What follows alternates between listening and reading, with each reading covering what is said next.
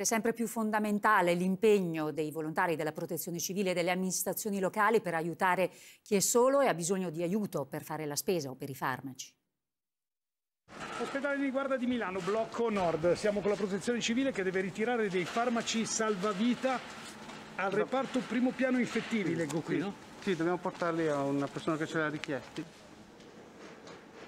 Che tipo di richieste vi stanno arrivando? Qualsiasi tipo di richiesta, da aiuto alimentare alla richiesta di trasporto di biancheria intima nei reparti degli ospedali. Stiamo cercando, grazie al lavoro del volontariato, di dare delle risposte, perché da soli, personalmente, le dico che eh, non andremo da nessuna parte. È vietato passeggiare nei parchi, giardini e luoghi pubblici, fermarsi in tutte le aree pubbliche.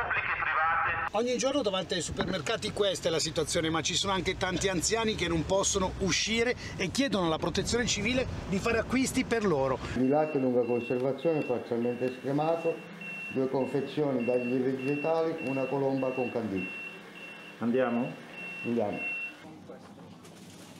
Il mezzo 05 è in uscita, stiamo iniziando a consegnare le spese. Una volta fatti gli acquisti, i volontari si mettono in movimento. Buongiorno alla protezione civile. Scusi, scala C ottavo piano. Non sono solo persone anziane, sono persone anche In difficoltà, in difficoltà economica, sì. Lasciamo qua fuori la spesa. Per le persone sole è un grande aiuto. Sì, sì.